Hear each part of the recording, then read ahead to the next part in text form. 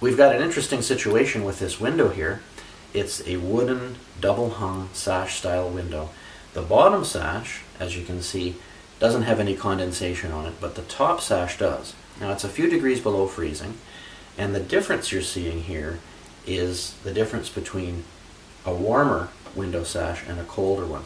This particular style of window has a removable pane of glass on the outside. It's called an energy panel. And in the top sash, that extra piece of glass is removed.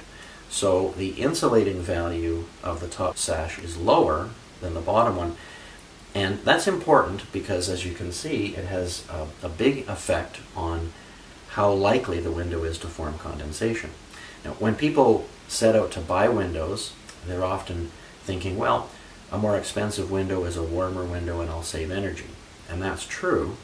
But what's also true is that a warmer window is much less likely to form condensation on the inside, which is uh, an ongoing problem for some people, especially in uh, very cold climates like where we live. So window insulation matters in two ways because it's an energy efficiency issue and it uh, has to do with the tendency for a window to form condensation.